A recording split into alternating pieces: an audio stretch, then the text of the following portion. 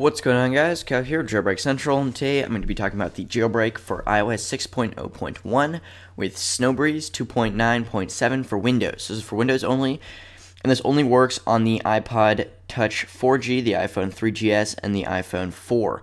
So now it doesn't support the um, the iPhone 5 and the iPad Mini, all those new de devices. However, it does work for the older devices, and I'm sure a lot of people still have those. So that's why I'm making a video on it. Now, I don't actually have one of those devices to show you, unfortunately. However, I'll put a link in the description to this website, which is basically where you download it and you can learn all about it. So now this has just been updated. It's called Snowbreeze, which is, for those of you who don't know, it's a very popular jailbreak tool to jailbreak the iPad, iPhone, and iPod Touches. So this does work for iOS 6.0 and 6.0.1, which 6.0.1 was just released for the iPhone. Um, and yeah, that's pretty much it. This was just a quick update um, telling you guys about this jailbreak because some of you guys might not know about it.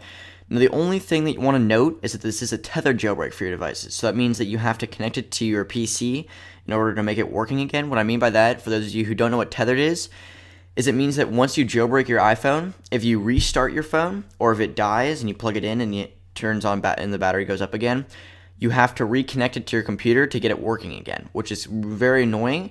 Now, if you don't have a problem with your phone dying or having to restart it often, which I don't think a lot of people do, um, then that's totally fine and it doesn't really matter.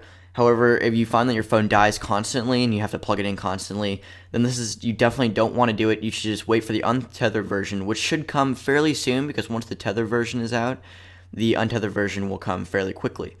So that's basically it. If you don't have problems with your phone dying or having to restart your phone, then definitely do this jailbreak. It's very, very useful. However, if you have problems and find that your phone dies a lot, definitely don't do it because it's very, very annoying. That's the problem with tethered jailbreaks.